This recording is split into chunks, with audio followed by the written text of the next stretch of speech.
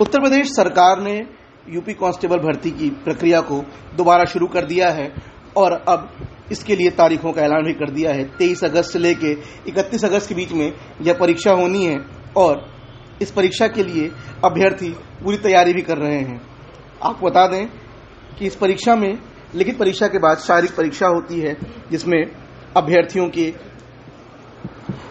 शारीरिक कौशल की परीक्षा ली जाती है। उन्हें दौड़ना होता है। इसके साथ ही तमाम अन्य खेलों में उनका प्रदर्शन देखा जाता है जिस आधार पर चयन होता है। लेकिन ये पूरी प्रक्रिया होती कैसी है? उस दिन जब अभ्यर्थी फ़ील्ड पर पहुँचते तो उन्हें क्या कुछ करना होता है? जानने के लिए हमने बात की। एक फ़िज़िकल ट्रेनर से, जो लंबे समय से अभ्यर्थियों को इस परीक्षा के लिए तैयार करा रहे हैं।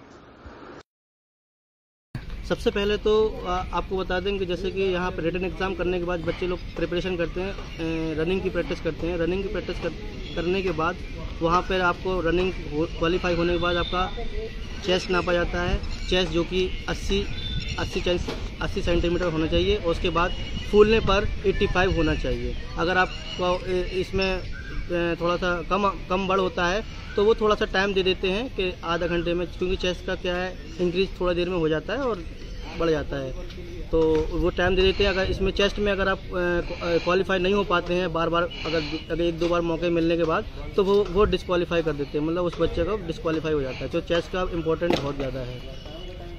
इसके अलावा और क्या कुछ करवाते हैं वहाँ पर उसके बाद मेडिकल टेस्ट होता है। मेडिकल टेस्ट में आपको जितनी भी आपकी पोस्टल डिफॉर्मिटीज़ होती हैं, जैसे काइपोसिस लोडोसिस स्पोलियोसिस नौकनी बो लेग और हैंड की जो बोन्स होती है ऑक्सी ऑक्सीपिटल बोन्स जो हैंड्स में होती है ऑक्सीपिटल बोन्स उसको भी देखा जाता है। अगर, और आँखों को आँखों को विशेष तौर पर देखा जाता है, आँख आँख भी आपकी सिक्स बाई सिक्स और सिक्स बाई नाइन होना ज़रूरी है।